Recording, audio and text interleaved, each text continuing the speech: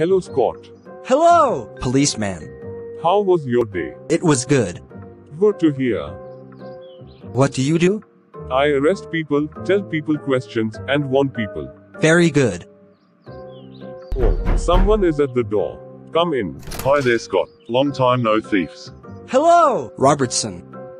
How was your day? It was good. Should I chat with the policeman? Yes. Police. Robertson has came to visit. Okay, Scott. So, policeman, What is it? you've been hearing about the Paralympics, don't you? I know. Well, I know.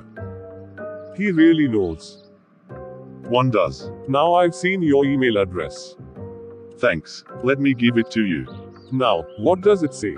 It says robertsonyouth at gmail.com.